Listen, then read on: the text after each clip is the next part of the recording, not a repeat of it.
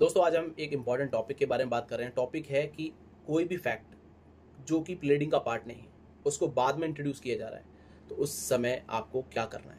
देखिए, ये well settle law है कि the fact which is not pleaded cannot be proved दूसरा affidavit cannot travel beyond the pleadings पर मान लीजिए ए पार्टी अपने प्लीडिंग्स के अंदर ए बी और सी फैक्ट लेकर आती है।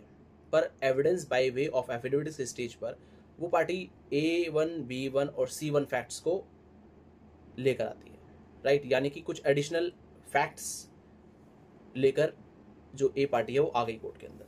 अब आपको इसका ऑब्जेक्शन भी लेना है कि भाई ये चीज़ें प्लीडिंग्स का पार्ट नहीं थी। तो आप उस केस के अंदर कोर्ट में एक रिटर्न ऑब्जेक्शन डाल सकते हैं कि ये ए वन बी वन और सी वन फैक्ट जो है बाद में इंट्रोड्यूस किए गए हैं, ये प्लीडिंग्स का पार्ट नहीं है। अब इस स्टेज पर सबसे क्रूशल स्टेज ये है कि क्या कोर्ट ए पार्टी को बोलेगी कि मीन्स आप अपना ये एफिडेविट विड्रॉ कीजिए, क्योंकि आपने इसमें एडिशनल फैक्ट्स मेंशन किए या कोर्ट उसको किस तरह से डिसाइड करेगी। देखिए ऑनरेबल दिल्ली हाई कोर्ट की एक जजमेंट मैं आपको बता देता हूँ ब्रिज प्रकाश गुप्ता वर्सेस अश्विनी कुमार छः जन छः फरवरी 2020 की जजमेंट है। इसके अंदर यही फैक्ट बेसिकली डील किया गया है, और उसमें सुप्रीम कोर्ट के जजमेंट्स भी कोर्ट किए गए तो ये जजमेंट आपको ज़रूर पढ़ना चाहिए। इस केस के अंदर ऑनरेबल दिल्ली हाई कोर्ट ने ये बोला है कि आप, यानी कि बी पार्टी ऑब्जेक्शन ले सकती है रिटर्न में। कोर्ट उन ऑब्जेक्शंस को रिकॉर्ड कर सकता है।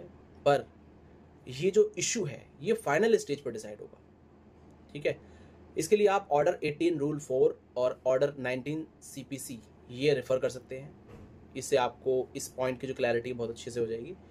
और कोर्ट ये भी कहती है कि भाई, जो भी एडिशनल फैक्ट्स इंट्रोड्यूस किए गए हैं उन एडिशनल फैक्ट्स के रिगार्ड में जो बी पार्टी है, वो ए पार्टी को क्रॉस एग्जामिन भी कर सकती है कन्फ्रंट कर सकती है under section 145 Indian Evidence Act यानी कि जब आप कोई भी आपको कोई भी फैक्ट जो कि रिकॉर्ड पर है और सामने वाली पार्टी कुछ कॉन्ट्ररी लेकर आ रही है उसके अगेंस्ट ठीक?